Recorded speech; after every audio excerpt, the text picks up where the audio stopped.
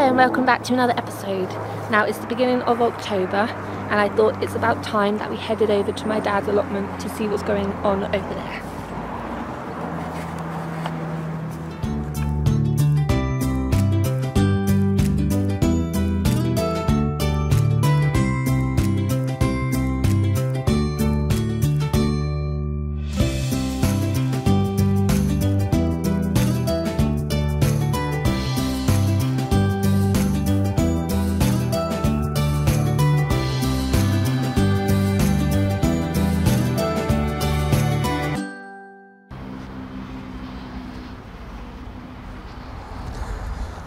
Hello, Hello, have come to have a look at your allotment. my potato yield. Oh, that's all your potatoes? Well, it is, yeah. As you know, at the start of the year, I planted some with manure, some with manure and pot- potash, and some without anything. Um, my potatoes from that side, Kestrel, were rubbish. I don't know what happened there. They seemed to die off very early. Um, You harvested them a while back. yeah, yeah, which is which is peculiar because apparently Kestrel is the best potato for this site. These are Cara. you? What, those three rows? Yeah, the, these two were um, with manure in the bottom of the trench. What, what I did, I, I scooped out a trench about six inches deep, put a layer of manure in the bottom, put the seed potatoes in, nine across there, which is 10 foot, and then obviously filled it back in. Um, they were just manure, they were manure and potash, and they were without any fertiliser at all. The ones on the end were late going in, they went in there. They were late going in because I had my purple sprout and broccoli there. So they were about a month after those. So that was But I think the best ones are these. With, yeah, two with manure in the bottom of the trench, two with manure and potash, and then and these without anything at all. okay. So the those are a little bit short because I dug up two plants this end and one plant that end, a long time ago. So the manure ones were the best. I think so. There's not a lot of difference between these two, but I think these just got a better yield. Ah. And it was very dry in July, I think, or else I would have got a better yield, a bigger yield. But, So um, you're just letting them dry now in the sun. sorry? You're just letting them dry now in the sun. Yeah, yeah. And I'll uh, put them in a sack. Ah. My carrots that I planted early are nearly finished. We've had quite a lot out of there, some quite quite big ones, some Mm. whoppers, They've been good, haven't they? but they're getting a bit sparse now. But I've got some more over there coming on. And These are my parsnips. parsnips. Um, I don't know what they're like. They should, oh yeah, they're not bad. About that at the moment. And I've, these are my other carrots that I put in. Oh, I don't know. Was it about a month ago? Six weeks? No, more than that, wasn't? They need thinning out really, but they're not a bad size. It's like a jungle. There's a lot of greenery. Let's just pull one out. Oh, that's not bad, is it? Mmm. Eh? Nice. That'd, taste, that'd be tasty, that one. So what I do, I just pull out, you know, just space them out a little bit when I pull pull these out, and Thin then, them then the and others eat will them, yeah. be able to grow a bit bigger. Ah. That's not bad. I've got this around to protect it from carrot fly. Yeah, we always use that, don't we? Yeah, seems to work. Hmm. Other people say they get a lot, lot of trouble with carrot fly, but um, I always put this around. We've well, never they had were any in trouble, the, have we? in the hoops. That's why they're a little bit domed. Right, leeks. These are the leeks. They're um, they haven't been in that long, and they're doing quite well. I've got some more leeks over there. So they should be ready about springtime, shouldn't they? Yeah, yeah. My brassica bed behind, that's the winter one. That's coming on oh, well. can't really see through this stuff. No. Brussels sprouts at the end. Yeah, I can't see. Yeah. Brussels sprouts, kale, Savoy cabbage.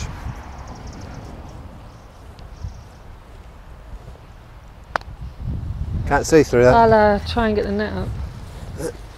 Should have this pegged down. I only had bricks at the time. They've still got a fair bit of growing to do, I think. Yeah, quite dumpy, aren't they? Yeah. There's some sprouts growing on But there's a few sprouting up over, well, sprouting. Yeah. There's a few growing quite tall over There's at the back. sprouts growing on these ones. Yeah, they are quite dumpy, aren't they? Look at that sprout there. Very dumpy, short and fat. Oh, yeah. Yeah. Should be okay for Christmas, shouldn't they? Lovely. A little bit of white fly on them. So you've got sprouts, kale. Kale, uh, Savoy, January King, Savoy cabbage. Only thing is, I think they're about ready now. Uh, Some have gone to seed. So hopefully they'll still be there come the winter. Things are starting to slow down now, aren't they? So they should last. And Oh, there's a lot of cabbages there. There's only so many cabbage you can eat already. yeah, So you much can just cabbage. see through there. Blimey. This one's the summer bed. I've got the Swede in there though. I've got some small cauliflowers coming on there. I haven't had much luck with cauliflowers. I've got some very small ones. So I expect they'll go to seed the same as the other ones. But can you get? Can you have a look? See, very small ones. Oh yeah. I think they're going to go to seed. They're too small to do anything with, aren't they? Really. And a few greyhound cabbage there. Uh, a lot of those were eaten by the slugs. Yeah, we had the same problem last year, didn't we? Yeah. I've got two summer Savoy there. Which isn't bad since it's sort of autumn now. Again, it's a lot of cabbage to eat in the summer. Isn't it?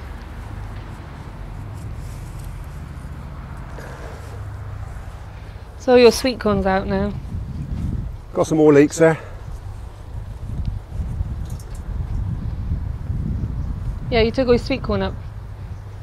Hey? Took all your sweet corn up. Yeah. Yeah, that was all around that pumpkin, wasn't it? That's my Atlantic giant. It's not very giant, but um, I didn't really feed it at all. It's bigger than mine. squash haven't been very good at all.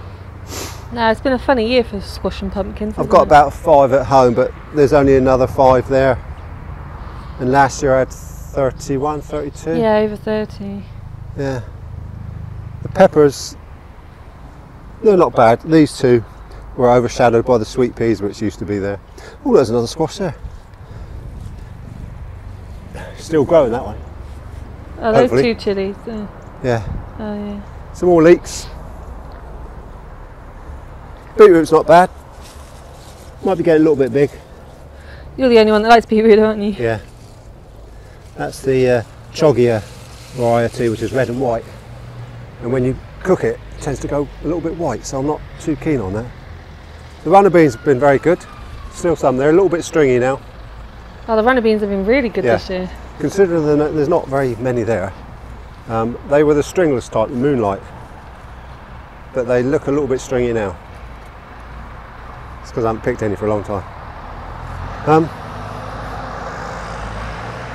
I've got a little bit of rocket that's been um, nibbled.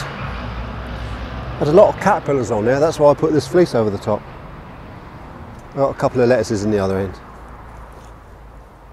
Um, is that a Rosso lettuce? A Lo- Lola Rosso? I think Something so. like that.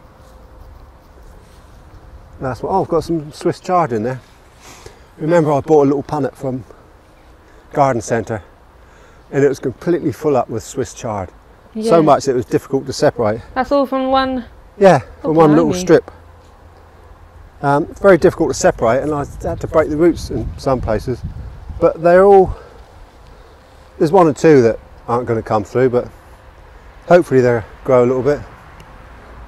I think they were reduced at the garden centre, so I thought I'd just try them. Got Right. some dahlias, haven't you? At the, Yeah, dahlias have been quite nice, haven't they? really nice.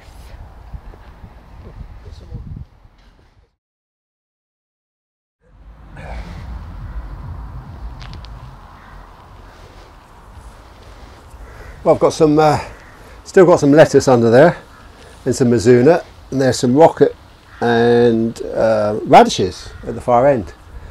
Um, I had to put this on because the uh, pigeons were. We haven't tried Mizuna before, have we? No, no. Oh, we had a. Yeah, I, I grew some over there next to the peas. Did Didn't you? have much of it because it went to seed and the Ah. caterpillars got it. And the caterpillars were after this as well. That's why I put the fleece on. And the pigeons. Um, Ah. It's my compost area. I don't think you've seen that. No, we haven't. Not as finished. Um, yeah, it's all finished apart from the grass. Ah. I did seed it quite heavily, but I think the pigeons have got the seed again. But um, that's compost ready to go, and that's obviously fresh greens. And at the end, it's uh, some leaf mould. So that's all coming on and nice. that didn't cost anything, did it? No, make? no, no, that's all old pallets, obviously, and a bit of old scaffold board that I had. Mm, very good. All my water butts, they're nearly full up, I think. Oh, because there you got three and they're all joined together. Oh, they're about there. But they only went up in the spring, didn't they? Well, in the summer, really. But they're all joined up, aren't they? Yeah, yeah. My flower, my flower tub. Oh, yeah. It's not looking its best at the moment, obviously. But um, I'm going to do the same again next year, I think, because it, it, it did look quite nice. That was just spare flowers that I grew, wasn't it? Yeah, So maybe you can, I don't know, put some tulips. I might grow some of my own. Yeah, well, you could put some tulips in Yeah, there. put some tulips in there for the spring. Good idea, my clematis. That was a little bit late going Oh, up as well. Just made out a couple of pallets. And the only other area got left was a little bit embarrassing is the uh, greenhouse area, Oh, this area. which I still haven't cleaned or cleared. Uh, but hopefully get to that over the winter. That's going to be a big job to clear, isn't it? I don't. Well, a couple of trips to the tip. Got to do something with that uh, old strawberry bed there. Shouldn't be too bad though, I don't think, because it was all quite level Yeah. before it all went on. I mean, that's in the wheelbarrow, isn't it? And there's a bucket full of stuff there. The So you're hoping that the greenhouse will be up next year? Yeah, yeah, that's a job for the winter. Because there's not going to be a lot to do on the plot, is there, in the winter? No. So that's about it, really. That's my plot in the autumn.